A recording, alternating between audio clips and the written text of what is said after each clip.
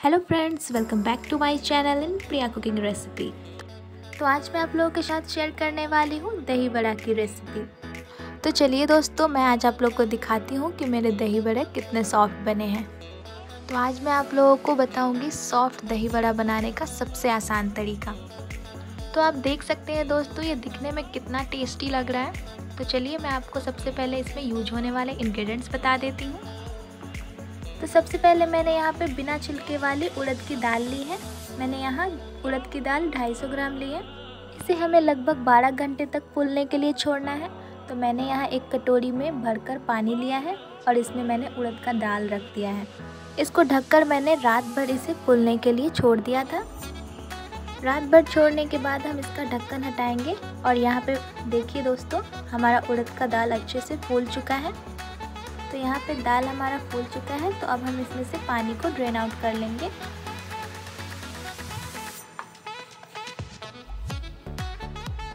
यहाँ आप देख सकते हैं, ये कितने अच्छे से फूल चुका है। तो अब हम इसमें फिर से पानी रखकर इसको अच्छे से धो लेंगे। यहाँ हल्के हाथों से इसे मसलते हुए अच्छे से धो लेना है और फिर से हमें पानी को ड्रेन आउट कर लेना है। ये देखिए, ये हमारा दाल साफ़ हो चुका है। तो अब हम दाल को एक मिक्सी जार में रखेंगे। एक बार में हमारा सारा दाल नहीं पीस सकता है इसलिए हम दो या तीन बार करके पीस लेंगे। यहाँ पे मैंने थोड़ा सा पानी ऐड किया है और अब मैंने इसके ढक्कन को बंद कर लिया है। और अब हम मिक्सी ऑन करके इसे ग्राइंड कर लेंगे। ग्राइंड करने के बाद हम इसके ढक्कन को हटाकर एक बारी देख लेंगे। तो यहाँ पे हमारा फाइन पेस्ट रेडी हो चुका है दोस्तों। आप देख सकते हैं, बड़ा के लिए ये पेस्ट काफ़ी अच्छे तरीके से रेडी हो चुका है। तो अब हम इसे मिक्सी जार में से निकाल कर एक कटोरी में रख लेंगे। तो यहाँ पे हमारे सारे दाल पीस चुके हैं। तो अब हम इसके आगे की प्रोसेस की तरफ़ बढ़ते हैं। तो सबसे पहले मैंने यहाँ फाइनली चॉप्ड एक टेबलस्पून अदरक लिया है। उसके बाद मैंने चार से पाँच कटी हुई हरी मिर्च ली है। इसके बाद मैंने एक चम्मच अजवाइन लिया है। अजवाइन हमारे खाने को पचाने में मदद करता है। तो अब मैंने पिसे हुए दाल को एक बड़े बर्तन में रख लिया है। और इसके बाद हम इसमें अजवाइन ऐड कर लेंगे। हरी मिर्च भी ऐड कर लेंगे और अदरक भी ऐड कर लेंगे। और इसके बाद मैंने इसमें half teaspoon baking soda add किया है। और यहाँ पे मैंने हाफ़ टी स्पून हल्दी पाउडर ऐड किया है। इसके बाद हम इसमें स्वादानुसार नमक ऐड कर लेंगे और अब हम इसे अच्छे तरीके से मिलाएँगे, यानी इसको अच्छे से फेंटेंगे।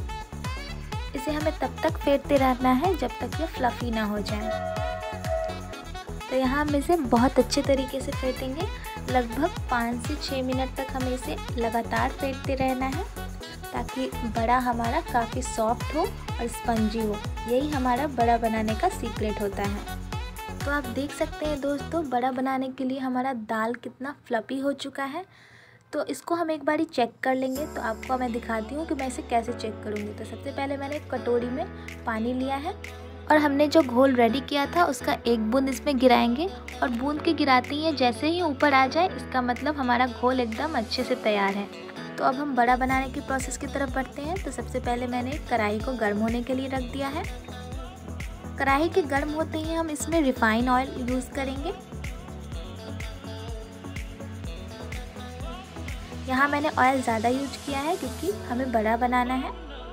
तेल जब गर्म हो जाएगा तो हम बड़ा को हाथों में लेकर छोटा छोटे आकार में उसे तेल में रखेंगे। आप चाहें तो चम्मच से भी रख सकते हैं। अगर आपको हाथ से बनाने में दिक्कत है तो। पर मैं यहाँ हाथों से ही बना रही हूँ। आप देख सकते हैं दोस्तों।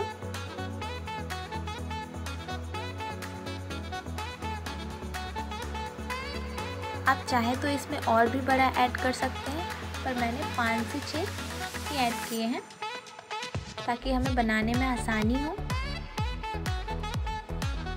और इसे हमें लगभग लाइट ब्राउन होने तक फ्राई करना है, ताकि ये अंदर से अच्छे से पक जाए।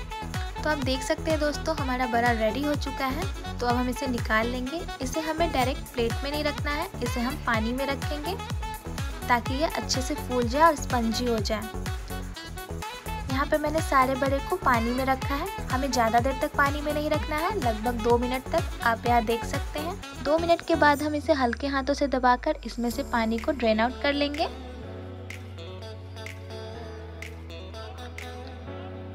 ज़्यादा ज़ोर से हमें इसे नहीं प्रेस करना है, नहीं तो ये टूट सकता है, क्योंकि ये काफ़ी स्पंजी होता है। तो इसी प्रोसेस के साथ हमें सारे बड़े को रेडी करना है, पहले फ्राई करना है, उसके बाद हमें इसे पानी में सोकिंग के लिए रखना है और उसके बाद इसे ड्रेन आउट करके प्लेट में रखना है। तो अब मैंने यहाँ एक के जी दही लिया है। यहाँ पे देख सकते हैं दोस्तों दही कितना गाढ़ा है। इस स्टेज में हम दही बड़ा को इसमें नहीं रख सकते। इसलिए हम इसको पहले मिक्सी जार में रखेंगे। एक बार में इसमें सारे दही नहीं आ सकते क्योंकि हम इसमें पानी भी ऐड करेंगे। तो यहाँ पे मैंने एक एक कप पानी ऐड किया है और इसे बंद करके मैंने मिक्सी ऑन किया है। तो आप देख सकते हैं दोस्तों, यहाँ पे हमारा दही का फाइन घोल रेडी हो चुका है। घोल बनाने का एक फ़ायदा होता है कि जब हम बड़ा को दही में ऐड करते हैं तो ये दही के साथ अच्छे से एब्जॉर्ब हो जाता है। तो यहाँ पे हमारा सूप किया हुआ बड़ा भी रेडी है और यहाँ दही भी रेडी है।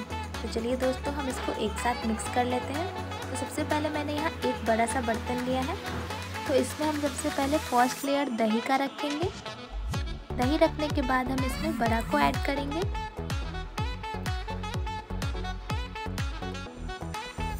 मैंने आठ से नौ बड़ा ऐड कर लिया है। तो इसके बाद हम फिर से दही का लेयर रखेंगे।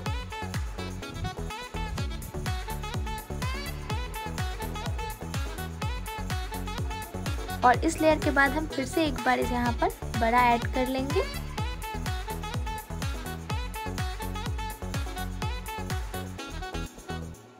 और बड़ा ऐड करने के बाद हम यहाँ फिर से दही को ऐड कर लेंगे।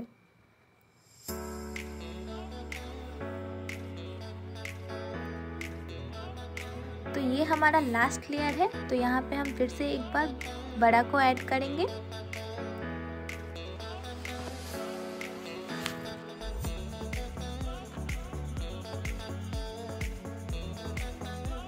और यहाँ मैंने सारे दही को ऐड कर लिया है।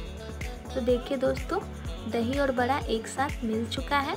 तो अब हम इसे तीन से चार घंटा के लिए रख देंगे ताकि ये अच्छे से मिल जाए। चार घंटे कंप्लीट होने के बाद देखिए दोस्तों, दही बड़ा में दही और बड़ा कितना अच्छे तरीके से मिक्स हो चुका है। यहाँ पे आपने देखा ना कि छोटे छोटे पोर्स आ चुके हैं। इसका मतलब है कि दही और बड़ा अच्छे से मिक्स हो चुका है। तो अब मैं इसे प्लेट में सर्व कर लेती हूँ। मैंने यहाँ प्लेट में इसे रखना स्टार्ट कर दिया है।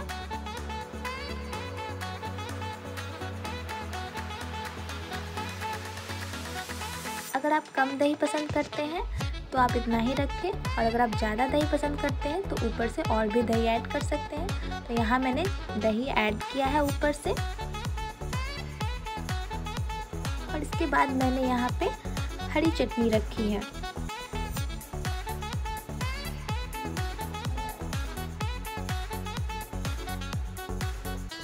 यहाँ मैंने इसके बाद टमाटर की चटनी को ऐड कर लिया है। और दही बड़ा के लिए सबसे फ़ेमस चटनी इमली की चटनी है। तो मैंने यहाँ इमली की खट्टी मीठी चटनी को भी ऐड किया है। इमली की खट्टी मीठी चटनी की रेसिपी मैं आप लोगों को अपने नेक्स्ट वीडियो में बताऊँगी। तो आप मेरे साथ इसी तरह कनेक्टेड रहिए दोस्तों। और इसके बाद मैंने यहाँ पे चाट मसाला ऐड किया है। चाट मसाला डालने से दही बड़ा का टेस्ट एकदम बढ़िया आता है। और सबसे लास्ट में मैंने यहाँ पे कटा हुआ हरा धनिया को ऐड किया है।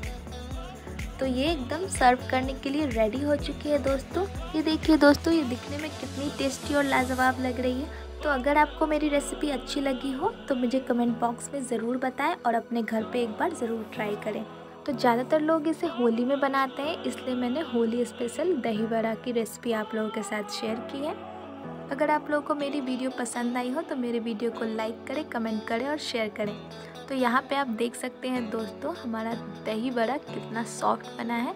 आप यहाँ देख सकते हैं दोस्तों कि हल्का सा प्रेस करने पे ही ये कितना जल्दी टूट जाता है।